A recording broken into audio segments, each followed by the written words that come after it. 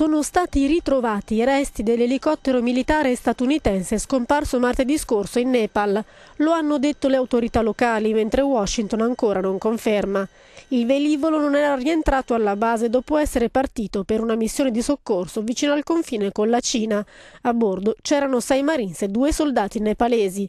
Vicino alla zona del ritrovamento, a una sessantina di chilometri a est di Kathmandu, sono stati recuperati tre corpi. Il Nepal è in lutto dopo i due terremoti che nelle ultime tre settimane hanno causato almeno 9.000 morti.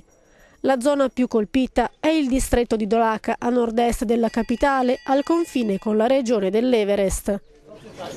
Anche nella notte tra giovedì e venerdì c'è stata una scossa di magnitudo 4.9.